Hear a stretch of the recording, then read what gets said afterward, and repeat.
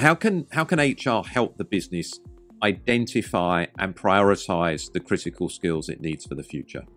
Knee-jerk reaction would be um, that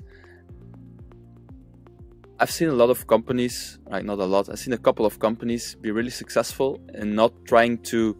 Um, it's a it's a very hard to describe moving target. Like which skills do we need in the future?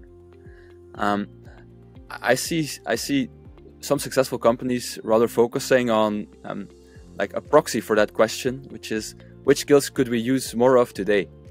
Um, and typically the answer is very similar, but it's a lot it's a lot easier to to grasp.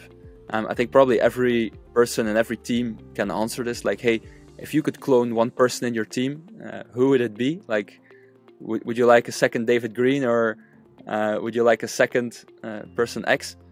Um, at one big energy company, uh, they kind of um, proxied for uh, like the skill demand by just looking at okay, like which which internal roles, like from all of our roles, which roles couldn't we uh, backfill internally right now?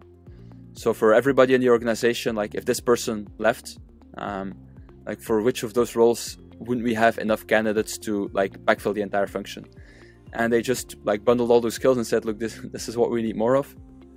Um, so I'm not sure. Uh, uh, it's a very elaborate answer to a very simple question, so I apologize for that. But I'm not sure if we if we should focus too much on like trying to predict the future and like, hey, which skills will we need in five years' time?